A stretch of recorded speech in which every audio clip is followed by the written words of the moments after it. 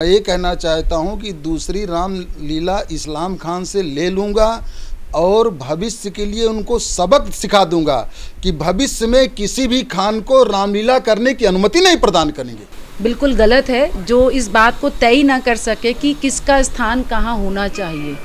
हमारे धर्म की रक्षा करने वाले अगर खुद ही रक्षक भक्षक बन जाएँगे तो रक्षा कैसे होगी? तो ये जिनने दिया है मैं उनका पुरजोर विरोध करता हूँ। जिस तरह हनुमान जी ने लंका में आग लगाई थी उसी तरह मैं इन विधर्मियों को आग में घोलने का काम करूँगा क्योंकि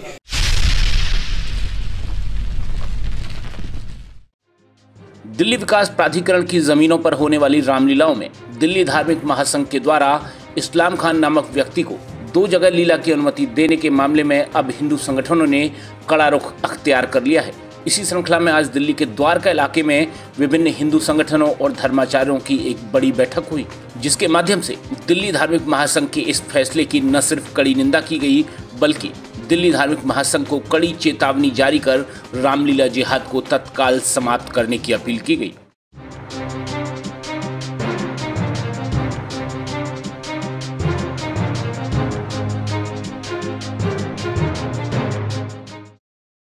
आपको बता दें कि दिल्ली धार्मिक महासंघ के द्वारा दलित समितियों के अधिकारों को छीनकर इस वर्ष होने वाली रामलीला इस्लाम खान के हवाले कर दी गई है। यानी, अब इस्लाम खान द्वारका सेक्टर वन एवं गाजीपुर में दो जगह रामलीलाओं का आयोजन करेंगे। दिल्ली धार्मिक महासंघ एवं डीडीए के इस फैसले के खिलाफ धर्माचार्यों एवं सनातन मतावलंबियों में खासा रोष है। और इसी रोष के परिणाम स्वरूप आज विभिन्न हिंदू धार्मिक संगठनों एवं सनातनियों ने एक बड़ी बैठक दिल्ली धार्मिक महासंघ एवं दिल्ली विकास प्राधिकरण की गलत नीतियों पर कड़े प्रहार की द्वारिका सेक्टर एक डीडीए ग्राउंड में जो धार्मिक समिति रामलीला करती थी, उसको डीडीए ग्राउंड बुक करने के बाद भी धार्मिक समिति महासंघ जो दिल्ली में बनी है इन्होंने मोहम्मद इस्लाम खान को रामलीला करने के लिए ग्राउंड बुक कराया और उनको अनुमति दिया।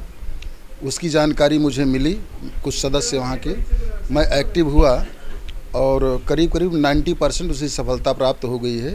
धार्मिक समिति महासंघ से भी मैंने बात किया, संघ के लोगों से मैंने बात किया और अंत में उन लोगों ने एक्सेप्ट किया और आज बुलाया है इस्लाम खान को। उनसे लेटर लेंगे कि हमसे कोई मतलब नेम नहीं करेंगे और वहाँ के लोग करें। मैं ये कहना चाहता हूँ कि दूसरी रामलीला इस्लाम खान से ले लूँगा और भविष्य के लिए उनको सबक सिखा दूँगा कि भविष्य में किसी भी खान को रामलीला करने की अनुमति नहीं प्रदान करेंगे। हम तो ये दृढ़ संकल्प लेकर बैठे हैं कि रामलीला तो वापस लेंगे ही लेंगे उनसे। इनसे हम ये वादा ले लेंगे कि अब भविष्य में किसी खान को ही रामलीला करने की अनुमति नहीं प्रदान करेंगे। अब यहाँ पर आ गया एक और हमारे रामायण जिहाद, यानी हमारे ग्रंथों पर अटैक करना। अगर आज उसका रोल कौन करेगा? उसका मंच कौन संभाल रहा है? इस्लाम खान। इस्लाम खान जिसने भगवान राम को पूजा नहीं, उनके चरित्र को जाना नहीं, उनको जिया नहीं, महसूस नहीं करा, भावनाएँ नहीं है उनके प्रति तो वो उसमें किरदार में कैसे वो भावनाएँ देंगे? तो हमारे बच्चे वहाँ से भगवान का कहीं कोई हास्य पात तो नहीं लेके जाएँगे? कोई मज़ाक तो नहीं समझ के जाएँगे? वो भगवान राम को और रावण को हल्के में तो नहीं लेके जाएँगे? क्योंकि दिखाने वाला कौन है? ये बहुत बड़ी बात है। और जब कोई गलती नहीं है तो मुझे लगता है कि ऐसे संगठन का होना ही बिल्कुल गलत है, जो इस बात को तय ना कर सके कि किसका स्थान कहाँ होना चाहिए। हमारे धर्म की रक्षा करने वाले अगर खुद ही रक्षक भक्षक बन जाएँगे तो रक्षा कैसे होगी? तो हमारे को बहुत इसकी सावधानी की आवश्यकता है कि हम अपने धर्म की रक्षा के लिए किन हाथों में वो बागदौड़ सौंप रहे हैं। इसका चयन भी हमें सही से करना चाहिए। मैं दिल्ली में आया है, मुझे मालूम पड़ा है कि हमारे रामलीला ग्राउंड को, किसी विधर्मी को, किसी खान को दिया गया है। तो ये जिनने दिया है, मैं उनका पुरजोर विरोध करता हूँ। जिस तरह हनुमान जी ने लंका में आग लगाई थी, उसी तरह मैं इन विधर्मियों को आग में घोलने का काम करूँगा क्योंकि जिनने कुरान पढ़ी है, जिनने कभी रामायण के पन्ने नहीं खोले, जिनने कभी गीता के पन्ने नहीं खोले, उन्हें क्या पता है क्या है? ये हमारे धर्म को सिर्फ़ मज़ाक मज़ाक और मज़ाक, और हमारे समाज को ये सिर्फ़ मज़ाक ही देंगे। तो इसको बंद किया जाए। देखिए सबका एक ही संकल्प है सनातन विरोधी कोई भी हो। हम सब यहाँ पे सनातन के रूप में बैठे थे कोई अलग अलग जाति अलग अलग प्रांत ये विषय ही नहीं था यहाँ पे। हम सब सनातनी हैं। हम सबको सनातन के प्रति कृत संकल्प होना होगा। सनातन विरोधी कोई भी हो उसके प्रति हम लोग को अपना जो उद्गार है वो प्रक, प्रकट करना ही पड़ेगा। हम लोग किसी भी सनातन विरोधी के मंसूबे को दिल्ली के अंदर क्या पूरे भारत में कहीं भी उसके मंसूबे को पूरा नहीं होने देंगे, ये संकल्प लिया गया है।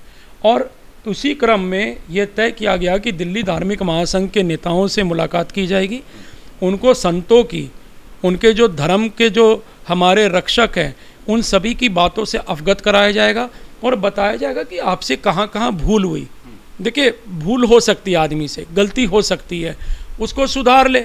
सनातन में तो जिसने भी गलती किया, उसको अगर वो सुधार लेता तो उसको भी हम लोग एक्सेप्ट कर लेते। तो इनसे कोई हमारा जीवन भर का बैर नहीं है। लेकिन अगर ये अपनी गलती नहीं सुधारेंगे तो ये मैं गारंटी देता हूँ, जो ये दिल्ली धार्मिक महासंघ नाम लिखा गया है, यही दिल्ली अधार्मिक महासंघ लोग कहने लग जाएँगे। और ये आज हमारी रामलीला रामलीला जो होती हैं, ये उसमें भी घुस चुके हैं। अब इनको रामलीला कैरेक्टर करने हैं। मतलब हास्य का पात्र बनाना है रामलीला को हमारे। ये इस्लाम जो खान है इसको रामलीला ग्राउंड की परमिशन दे दी गई है परवेश वर्मा द्वारा, या जिस किसी भी मंत्री द्वारा दी गई है। ठीक है, इसका हम पुरजोर विरोध करेंगे, और हो सकता है तो इनका प्रदर्शन भी करेंगे इनके खिलाफ। लेकिन हम ये होने नहीं देंगे, और इनके अकबर बाबर सबको भगा देंगे यहाँ से। ज़ाहिर है कि दिल्ली धार्मिक महासंघ का यह फैसला न सिर्फ़ गलत, बल्कि बेहद बचकाना दिखाई देता है। आवश्यकता इस बात की है कि दिल्ली धार्मिक महासंघ और दिल्ली विकास प्राधिकरण दोनों ही मिलकर इस फैसले को सुधारें और सनातन मतावलंबियों की धार्मिक भावनाओं का दोहन करने से बचें। ब्रेकिंग न्यूज़ दिल्ली एनसीआर के लिए ब्यूरो रिपोर्ट।